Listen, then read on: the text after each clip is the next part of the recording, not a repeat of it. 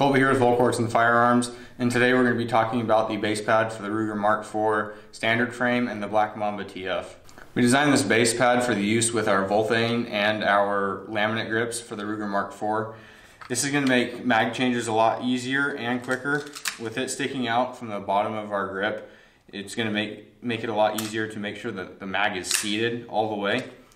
It, it, this base pad will also work with the Mark IV with factory grips or whatever grips you choose. It still works. Um, this base pad is machined from billet aluminum.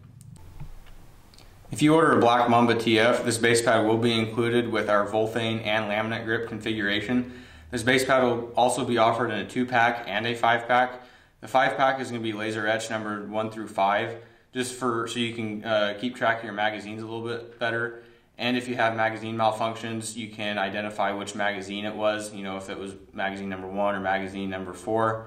And if you have any further questions about the base pad, you can contact us at volquartsen.com.